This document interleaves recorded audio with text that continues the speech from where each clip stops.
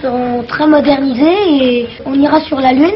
Chaque homme aura un, un moteur qui se mettra dans le dos pour voler. Je crois qu'il se nourrirait beaucoup plus de choses euh, artificielles, chimiques, que de choses naturelles. Il suffira d'appuyer sur un bouton, puis tout se fera mécaniquement. Il faudra bien des hommes pour faire marcher les robots. Ils iraient au travail, puis alors euh, ils mangeraient une pilule. Devant chaque élève, il y aura une sorte de télévision. Et à côté de lui, il y aura une, une machine à écrire.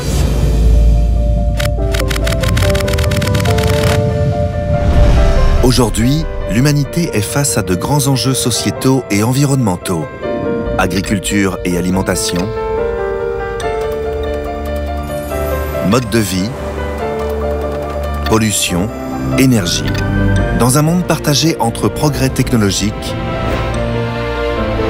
changement climatique et alimentation, il est temps de choisir, il est temps d'agir.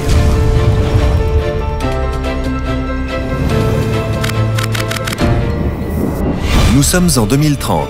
Les usages et modes de consommation ont évolué pour s'adapter à ces nouveaux enjeux.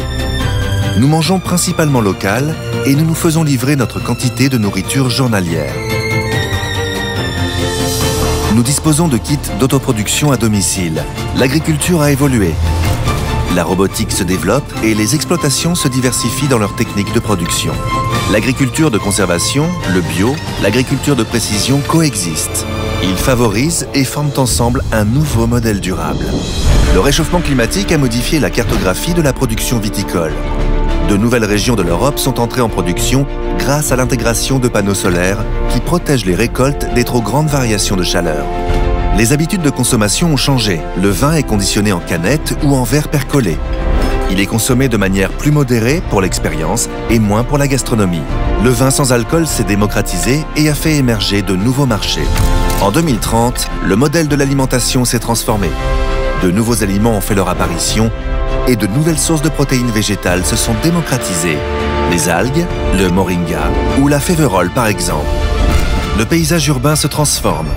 Dans une logique de proximité, l'agriculture urbaine s'est développée.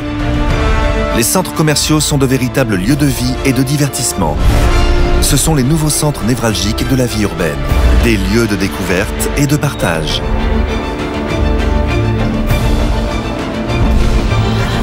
Ceci est un futur, il y en a une infinité possible.